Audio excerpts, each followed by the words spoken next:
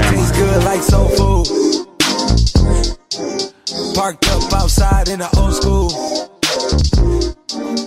The new me back with the OU. The dog always.